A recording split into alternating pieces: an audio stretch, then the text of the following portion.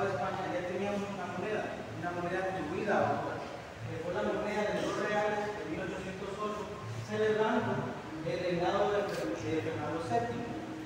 Esta moneda es una proclama, es una moneda conmemorativa, es una moneda que a pesar de que se hizo con el fin de celebrar el reinado del rey, pasa a ser una moneda por tener una denominación, y es los reales, como ver aquí.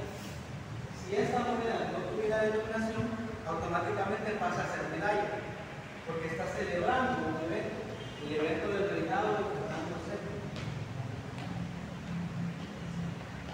Eh, como paréntesis, dentro del reinado de Fernando VII se hizo esta medalla que se atribuyó a Honduras Trujillo específicamente, y que pasa a ser moneda por tener denominación, pero también se hizo la medalla.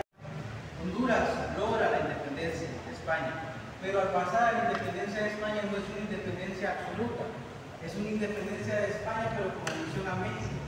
Es por eso que Honduras perteneció al Imperio Mexicano durante un periodo de meses, en 1823.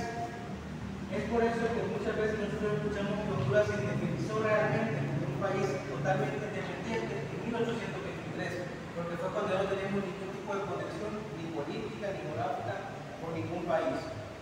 Durante el Imperio Mexicano se hicieron dos medallas, dos monedas, perdón, ambas de dos reales. Esta es la primera moneda acuñada bajo el Imperio Mexicano, pero acuñada en Honduras. A pesar de que es bajo el Imperio Mexicano, se, acuñaron en Honduras como Mayagua, específicamente. Después de, la, de, la, de México, Honduras pasa a tener ya su propia independencia, formando una casa de la moneda, la primera casa de la moneda de Honduras. La primera casa de la moneda de Honduras se funda en Comayagua, creando diferentes monedas. Monedas de medio real, un real, dos reales, cuatro reales. Esta es una moneda de medio real. ¿Cómo se caracterizan estas monedas? Solo se hicieron durante dos años, desde 1823 hasta 1825. En 1825 solo se hicieron dos monedas, dos tipos de monedas. Una de ellas es un real y la otra es de dos reales, que la voy a enseñar más adelante. De las demás, las de 1825 son piezas escasas. Todas son piezas de esta época, pero todas estas son las más raras. Esta es una de dos reales de 1825, perdón, de 1824. Otra manera de, de, distinguir las monedas de Honduras, cuando no se ven las fechas, es esto de acá. Honduras, en lo que es un medio real, un real de dos reales, solo se van a ver estos como tréboles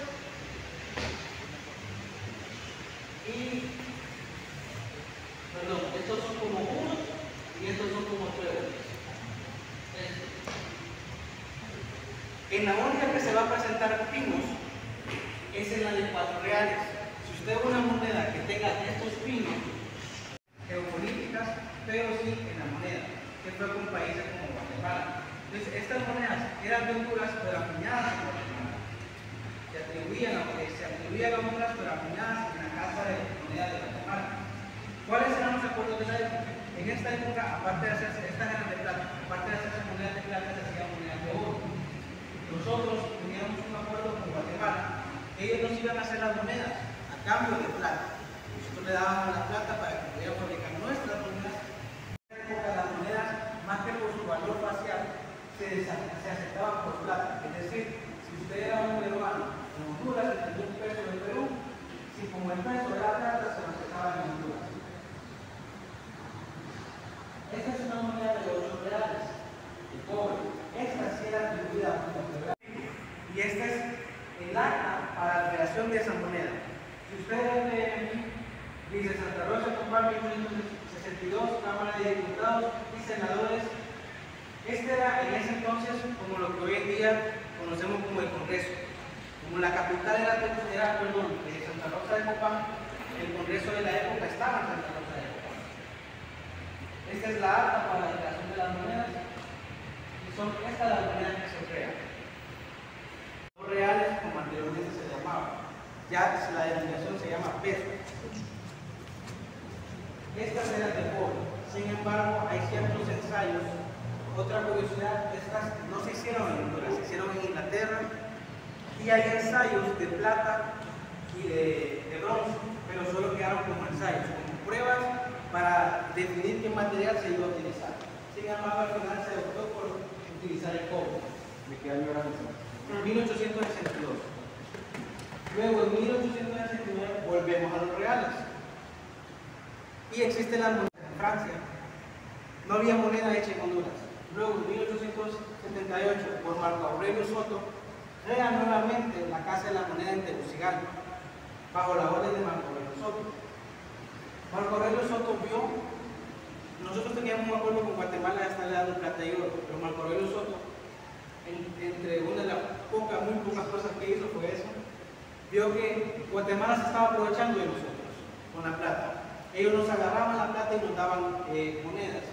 Es decir, nosotros le dábamos, por ejemplo, un valor en dinero, en plata, de 100 pesos. Y ellos nos devolvían 80 monedas de, de un peso. Entonces se quedaban 20 pesos en el aire por valor de plata. Entonces José María Reina dijo, no, vamos a hacer una- nuestra propia casa de la moneda. Perdón, Marco Aurelio Soto.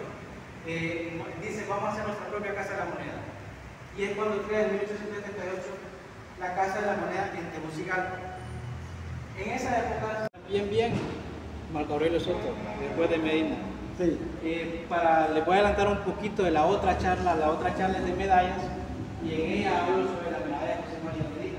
Esta es la, me- la medalla de la Orden de Santa Rosa hecha por José María Medina. Qué bonito. Hay diferentes tamaños. Esta es la más chiquita. Cuando digo chiquita, chiquita, es como un centavito. Y hay otra que es bien grande. El inicio de aquí, Son primos lejanos del... el mamut, y lejano del elefante.